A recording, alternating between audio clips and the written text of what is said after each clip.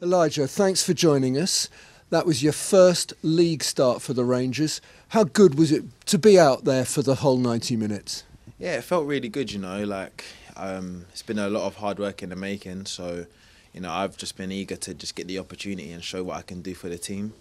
And uh, I felt like I played my part today, and um, we, overall we had a really good result. So, you know, hopefully more to come from me and the team. The gaffer mentioned you by name afterwards and said he was really impressed with your performance. What do you feel you did well today?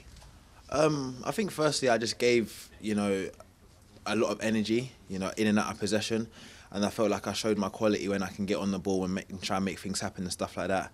You know, I was unlucky to not you know get the get the ball in the back of the net at the end when the goalies you know made a good save. So, you know, I just feel like you know I feel like my game's in a good place and I feel like I can really you know help this team going forward. So let's see.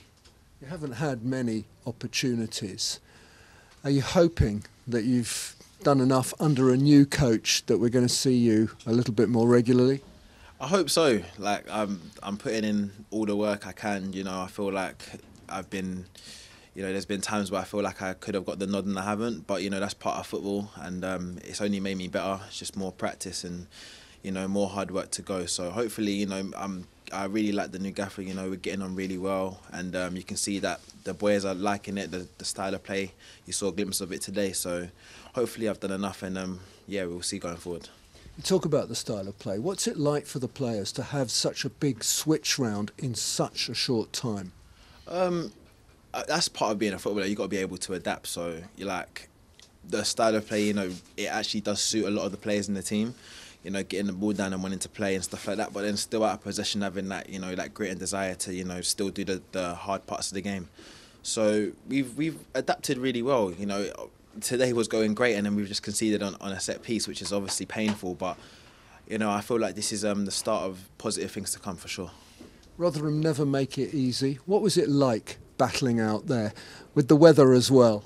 You know full credit to them. They've got their style of what they do, and you know they they're good at it. Um, but you know, I would say credit to the um, to the backline, especially they they took a lot of um, pressure, but they dealt with it really really well.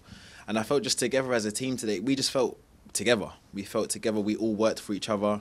You know, there was parts of the game that you, you don't necessarily want to do, but you have to do for the team. And I felt like everyone, you know, can come away from this game saying they've done what they needed to do. So you know, we dealt with it really well. Really. You've just come from the dressing room.